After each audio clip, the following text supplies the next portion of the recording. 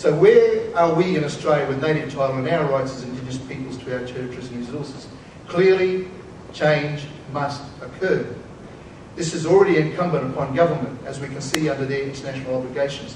The real crunch for the government is that they're expected to reach a satisfactory outcome in partnership with us as the Indigenous peoples.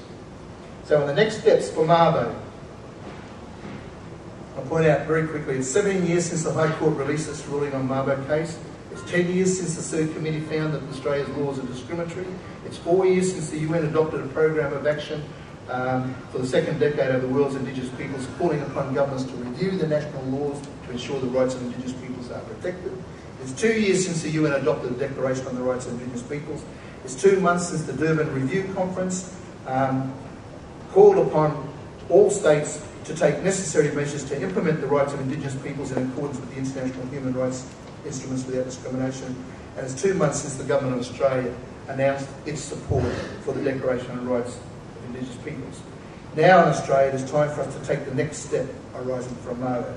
It's time to evaluate the outcomes from the Mabo decision of the High Court and to analyse fundamental principles to ensure that we have eliminated racism entirely from the national land rights system.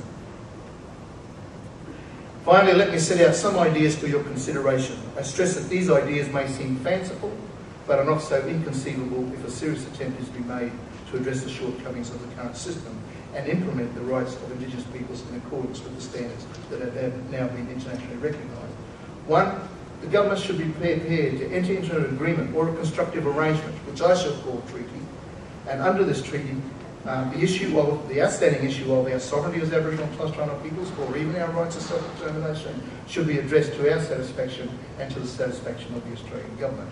This agreement can focus upon the fundamental essential rights that we hold as Indigenous peoples. The Declaration provides a platform for those rights. Second, an agreement should establish just and fair procedures for adjudicating disputes and I uh, very quickly point here that we might look at the Waitangi Tribunal model in New Zealand, uh, even though in New Zealand the final authority still rests with the Minister for Crown. Um, in, thirdly, in relation to ownership of our territories, um, that is the Aboriginal and Torres Strait Islander territories, they should come under one common national title. At the moment, there are all different titles. And it should be in a form of land title agreed between the Australian government and us as Aboriginal and Torres Strait Islander people. Um, and disputes within those territories about who have rights as traditional owners or custodial responsibilities can be resolved by Indigenous peoples through Indigenous institutions, instead of it being a process which is denying us our title uh, in the federal courts. Uh, finally, in all states and territories of Australia, there should be set a minimum area of territory to, to be identified as Aboriginal territory or Torres Strait Islander territory but ensuring that that minimum is uniformly available across all the local areas. The minimum amount would be negotiated. Statistics show that Aboriginal people in West Australia, Northern Territory and South Australia have ownership or control over 25% of the land mass. It's an impressive figure. However, it's not the whole story. However, in the four eastern states, the Aboriginal and Torres Strait Islander people who make up 66% of the total Indigenous population only have control of 3% of the land. In New South Wales, Australian Capital Territory, Victoria and Tasmania, it is only 0.4% of the land.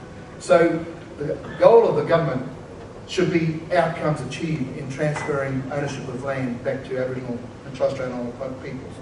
Um, I'll, I'll, finish there. I have a much longer presentation, um, but I'm, I'm, told that the presentation will be available uh, to, to you on the AIATSIS uh, website and elsewhere. But I, would like to once again finish up by paying my respects uh, to uh, Koiki Mabo, and uh, one, I wonder how crazy all of this sounds. Was it as crazy as it sounded in the early 1980s as he took his cases to the court? Um, and I show my respects to him as best as I can with the message that I carry. It's time for the Australian Government to enter into negotiations with the Aboriginal and Torres Strait Islander people to reach agreement on land rights and the rights of Indigenous peoples. I also, once again, thank the organisers for giving me the opportunity to talk about our rights as Indigenous peoples. Thank you very much.